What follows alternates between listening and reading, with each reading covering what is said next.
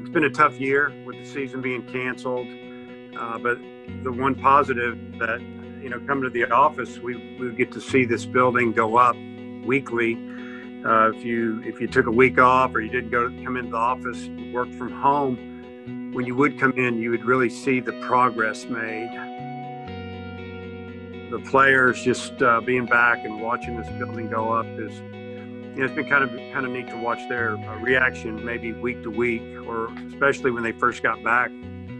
Some of the guys that had been out to summer ball, uh, they realized what a, you know, just what a special place it's going to be we're at a high level. This league's incredible. It's so competitive. You know, one player here or there make a huge difference. I mean, we feel like this facility, training wise, will help us get over the hump here and there as far as getting, you know, some special recruits maybe. Uh, but as far as development for the players that select Arkansas, uh, it's going to be second to none. I, I think that they're going to have everything they need. And I tell kids when we're recruiting them, uh, you can get as good as you want to be you know, or maybe that your ability will let you because you're going to have everything you need from academic support up on campus to, you know, all the support down here athletically with, with the weight room and nutrition area. And you could go on and on and on. I mean, this, this building is special. There's no doubt the Hunt Family Baseball Development Center will have an impact on the players that train and use it on a daily basis.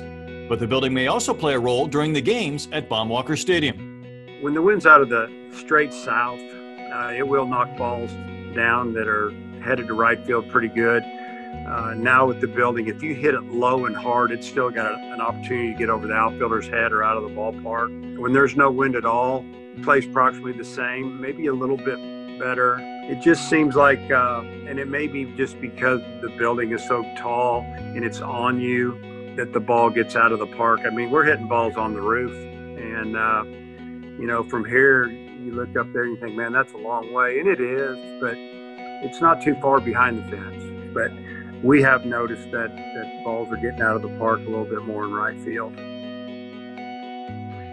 I just can't wait to see if the finished product and number one in one and one A is uh, our strength and conditioning area. I think it's huge for our program to have it right there, uh, right outside, basically just down the down the stairs from the from or I don't know even know if it's down the stairs, just right next door to the locker room, uh, and then obviously down the stairs for sure is uh, you know our pitching development center. Uh, you know, obviously if you can't pitch, you can't win. Just to be able to walk a recruit through that area and they can see how beautiful the facility is obviously the technology that we can we can break them down individually and tell them everything about themselves and what they need to do mechanically to, to fix things so they can throw harder and more accurate. But those two facility, you know, those two areas of that big facility are going to be special in my opinion.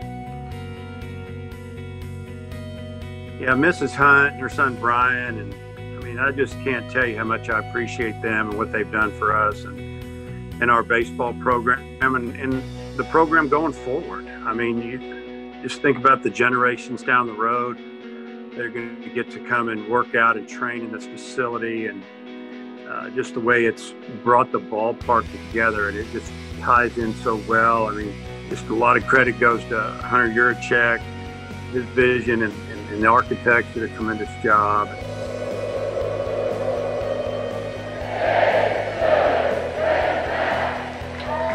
The fan base here, we've just watched it grow. I've, I've been so fortunate to be here and to and just to watch, you know, everything develop over the years and grow and grow. And, uh, you know, I don't, I don't see it slowing down, to be honest with you.